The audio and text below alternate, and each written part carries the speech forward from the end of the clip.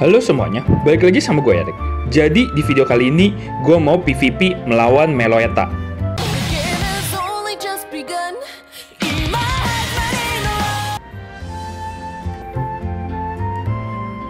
Oke, jadi ya seperti yang kalian tahu, ini pas video ini tayang ini adalah tinggal beberapa jam lagi itu banner si Meloeta sama Hopa ini udah selesai. Jadi ya kalau misalnya kalian mau ngegacha ya silahkan aja. Kalau enggak juga ya kalian juga silahkan. Tapi kalau misalkan masih mikir-mikir ya, ini mungkin gue bisa memberikan video yang bagus tuh kalian. Karena di sini tadi kan di awal gue bilang cuma Meloeta, tapi ternyata enggak. Di sini gue udah gue siapin lawannya itu ya kalian lihat di sini di history ini apa Meloeta, Hopa sama Marcedo bintang 11 ini tuh bener-bener bisa dibilang potensi maksimal dari banner yang sekarang ya. Bener-bener Hopa dan Meloeta. Jadi mungkin ya kalian mau mempertimbangkan apakah kalian emang mau ngebuild sampai maksimal. Terus kalau misalnya kalian pengen ngeliat titik maksimalnya kedua Pokemon ini sampai mana. Dengan kombonya juga Marcedo ya kalian mungkin bisa nonton video ini. Tapi ya balik lagi gue say sorry dulu karena di sini gue cuma nonton replay yang berarti kalian udah tahu ya.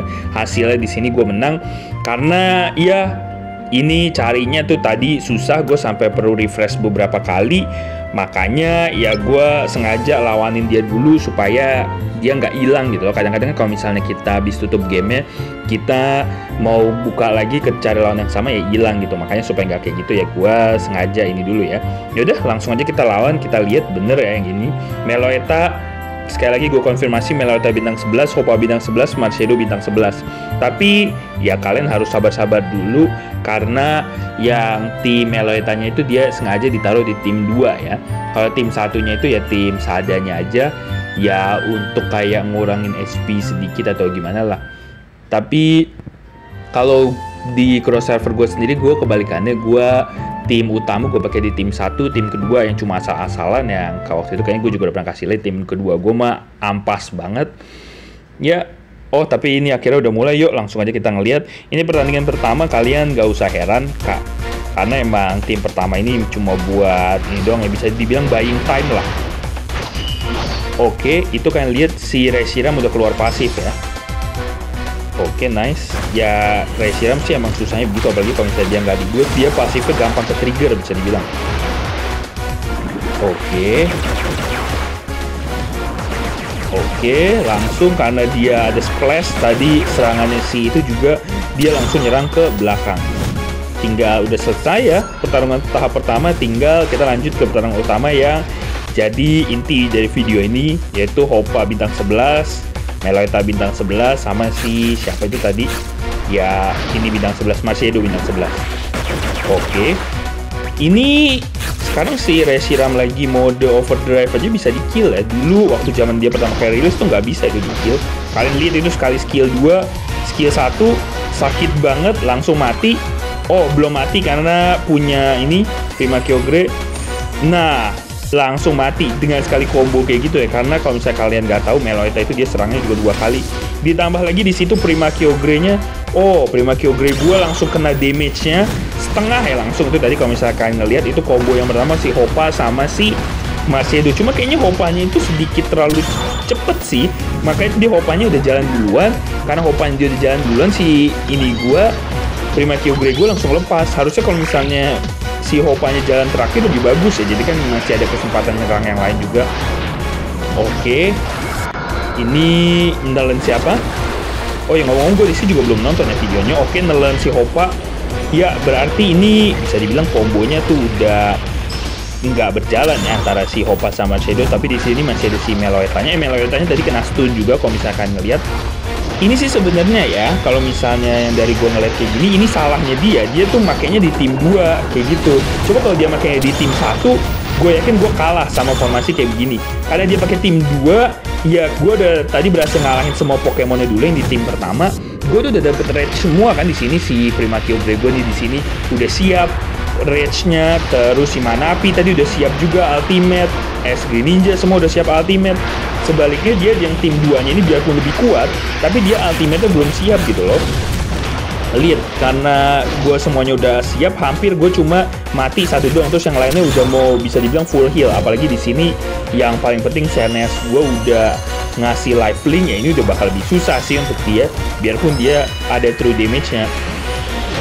Oke iya kan cuma padahal masalahnya cuma segitu jadi mungkin ini kalian bisa jadi pemikiran juga ya. Kapan kalian harus apa keuntungan make tim 1 tim 2 kalau misalnya di cross server kayak begini ini padahal tadi kalian lihat si Prima Kyogre gua aja tuh yang udah bintang 11 mega aja tuh langsung disetengahin gitu loh.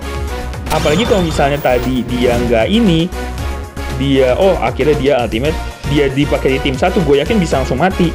Cuma sayang aja karena ultimate gue udah siap semuanya dari pertarungan pertama. Oke damage-nya sakit banget cuma di sini ada life link. Wow. Oke dia masih belum ini masih belum ke trigger itu ya kena ekstra ultimate lagi. Nice.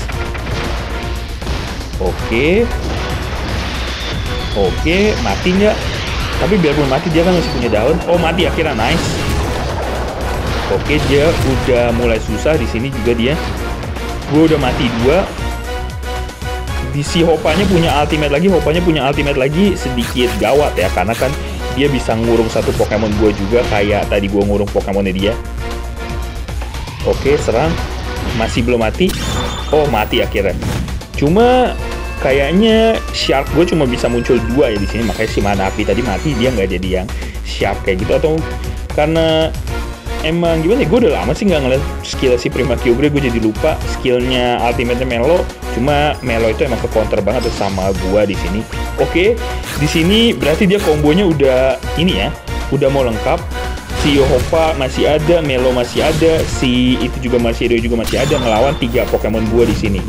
Berarti tadi gimana cara gue menang ya? Gue sendiri juga bingung gimana cara gue menang. Ini kan gue tinggal si Prima Kyogre sama si ini doang ya.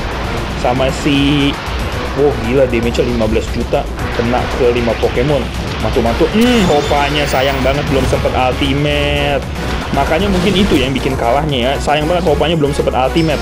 Kalau Hopanya tadi sempet ultimate ngilangin si Prima Kyogre gue sih udah pasti tewas itu. Cuma sayang banget di situ. Oke, dia life link-nya juga udah selesai, damage gue masuknya lebih full. Kena ripple, kena stun, kena stun, Wah, ininya Meloeta sama si CNS-nya nggak gue kasih jalan itu. Oke, nice. Pas banget lagi ya tadi si Meloetanya nyerang gue, terus habis itu berikutnya langsung dia CNS langsung ultimate lagi, nice. Mati CNS musuh. Ah iya ini mah berikutnya tinggal pukul-pukulin si Marcedo-nya aja ini. Oke, tinggal kena ini, pukul lagi, kena gigit lagi, sedikit lagi, kena bleed, Oke. Iya, jadi begini ya cara gue menang. Berarti ya sebenarnya kalau misalnya dibilang sekarang sih, apakah emang perlu si Meloeta ini? Karena sekarang emang udah banyak itu ya. Tadi gimana sih ngomongnya?